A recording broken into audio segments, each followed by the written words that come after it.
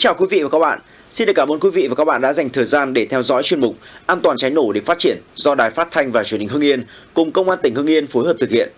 Thưa quý vị và các bạn, đến nay, tỉnh Hưng Yên được quy hoạch phát triển 17 khu công nghiệp, trong đó 11 khu công nghiệp được chấp thuận chủ trương giấy chứng nhận đăng ký đầu tư.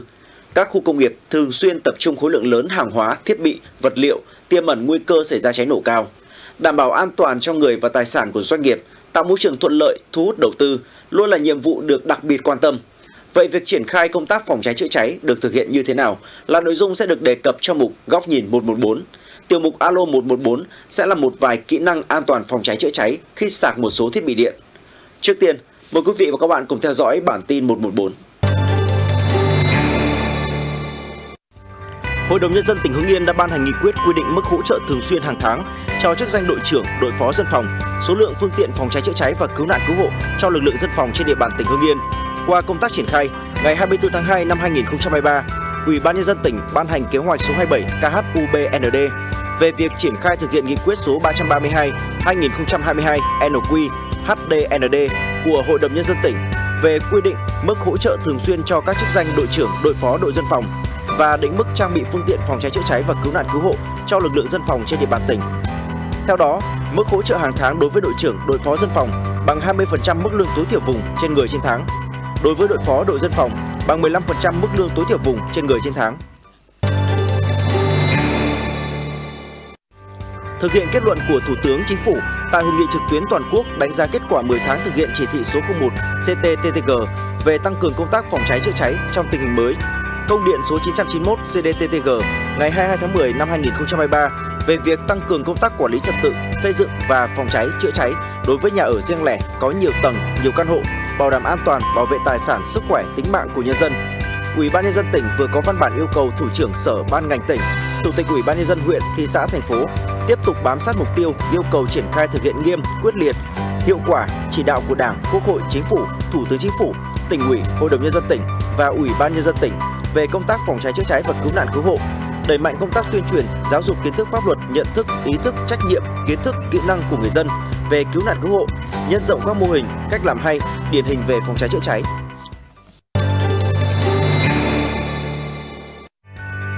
Theo số liệu từ ngày 3 tháng 1 năm 2023 đến nay, lực lượng chức năng tỉnh đã thẩm duyệt và cấp 260 giấy chứng nhận thẩm duyệt thiết kế về phòng cháy chữa cháy cho các dự án công trình, tổ chức nghiệm thu về phòng cháy và chữa cháy đối với 171 dự án công trình. Theo điều 63A Luật Phòng cháy chữa cháy, xử lý các cơ sở không đảm bảo yêu cầu về phòng cháy và chữa cháy được đưa vào sử dụng trước ngày Luật Phòng cháy và chữa cháy số 27 2001 QH10 có hiệu lực. Trên địa bàn tỉnh có tổng số 40 cơ sở không đảm bảo yêu cầu phòng cháy chữa cháy, 28 cơ sở đã khắc phục. Hiện còn 12 cơ sở chưa khắc phục. Ủy ban nhân dân tỉnh giao công an tỉnh phối hợp với các sở ngành xử lý theo đúng quy định. Công an tỉnh đã triển khai thực hiện đầy đủ các văn bản chỉ đạo của Bộ Công an C07, đồng thời tiến hành tuyên truyền phổ biến quy định của pháp luật về việc thực hiện bảo hiểm cháy nổ bắt buộc cho các cơ sở trên địa bàn tỉnh. Qua giả soát, thống kê, trên địa bàn tỉnh có 1.189 cơ sở nguy hiểm cháy nổ thuộc danh mục cơ sở phải mua bảo hiểm cháy nổ bắt buộc. Kết quả có 774 cơ sở đã mua bảo hiểm cháy nổ bắt buộc, có 73 cơ sở mua không đúng quy tắc, còn lại 342 cơ sở chưa mua bảo hiểm cháy nổ bắt buộc theo quy định.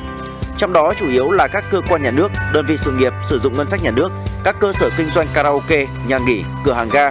Tính đến thời điểm hiện tại, lực lượng cảnh sát phòng cháy chữa cháy và cứu nạn cứu hộ đã tiến hành xử phạt một số trường hợp vi phạm pháp luật về bảo hiểm cháy nổ bắt buộc. Để nâng cao kiến thức, ý thức phòng cháy chữa cháy cho cán bộ, công chức, viên chức, vừa qua, Văn phòng Hội đồng nhân dân tỉnh, Ủy ban nhân dân tỉnh Hưng Yên phối hợp với Công an tỉnh tổ chức hội nghị tập huấn bồi dưỡng nghiệp vụ phòng cháy chữa cháy và cứu nạn cứu hộ. Tham dự hội nghị có trên 100 học viên là cán bộ công chức viên chức, lực lượng phòng cháy chữa cháy cơ sở. Trong chương trình bồi dưỡng, cán bộ phòng cảnh sát phòng cháy chữa cháy và cứu nạn cứu hộ đã truyền tải các thông tin mới nhất liên quan đến tình hình cháy nổ trên địa bàn tỉnh và cả nước, nguyên tắc phòng cháy và chữa cháy, phổ biến các văn bản quy phạm pháp luật về phòng cháy chữa cháy và các văn bản hướng dẫn phòng cháy chữa cháy, Tại hội nghị, các học viên còn được hướng dẫn sử dụng phương tiện chữa cháy tại chỗ, những kỹ năng thoát nạn, thoát hiểm. Qua hội nghị, có phần nâng cao nhận thức, ý thức trách nhiệm trong việc đảm bảo an toàn về phòng cháy chữa cháy, từ đó làm giảm nguy cơ và thiệt hại do cháy nổ gây ra. Thưa quý vị, việc đảm bảo an toàn phòng cháy chữa cháy tại các khu cụm công nghiệp đóng vai trò hết sức quan trọng. Bởi lẽ chỉ một phút lơ là, mất cảnh giác là nguy cơ cháy có thể xảy ra bất cứ lúc nào và thiệt hại về người tài sản là không thể lường trước được. Hiểu được điều đó, vấn đề phòng cháy chữa cháy tại các khu công nghiệp rất được coi trọng, ghi nhận tại khu công nghiệp Thăng Long 2. Đây là một buổi diễn tập phương án chữa cháy và cứu nạn cứu hộ tại công ty trách nhiệm hữu hạn Toto Việt Nam chi nhánh Hưng Yên. Tình huống giả định là có dò dỉ khí ga kết hợp với ngọn lửa từ việc hàn cắt kim loại ngay gần đó dẫn đến sự cố cháy. Với gần 60 thành viên đội phòng cháy chữa cháy và cứu nạn cứu hộ cơ sở cùng với các phương tiện phòng cháy chữa cháy tại công ty, chiến thuật chữa cháy và cứu nạn cứu hộ khoa học chính xác. Sau một thời gian ngắn, đám cháy đã được khống chế và dập tắt hoàn toàn qua cái buổi diễn tập ngày hôm nay thì tôi cũng nâng cao được một số kỹ năng về phòng cháy chữa cháy, uh, sử dụng uh, bình cứu hỏa năng vòi chữa cháy và cứu nạn cứu hộ. Bên cạnh hoạt động diễn tập phương án chữa cháy và cứu nạn cứu hộ được thực hiện mỗi năm một lần, công nhân viên của công ty còn thường xuyên được tham gia các khóa tập huấn, trang bị kiến thức về phòng cháy chữa cháy và cứu nạn cứu hộ. Tất cả công nhân viên mới vào công ty đều được hướng dẫn các kiến thức cơ bản về phòng cháy chữa cháy trước khi được bố trí làm việc tại các phân xưởng. Định kỳ hàng năm, công ty đều phối hợp với công an phòng cháy chữa cháy chuyên ngành để tổ chức huấn luyện, bồi dưỡng nghiệp vụ phòng cháy chữa cháy cho lực lượng phòng cháy chữa cháy cơ sở. Nội bộ công ty cũng thường xuyên tổ chức các buổi phổ biến kiến thức, đào tạo thực hành phòng cháy chữa cháy cho công nhân viên. Công ty cũng tổ chức các cuộc thi tìm hiểu kiến thức phòng cháy chữa cháy thông qua hệ thống loa phát thanh. Tại công ty trách nhiệm hữu hạn khu công nghiệp Thăng Long 2, ngay từ khi đi vào hoạt động, công ty đã đầu tư một xe chữa cháy, hiện đang trong quá trình chờ bàn giao thêm hai xe chữa cháy.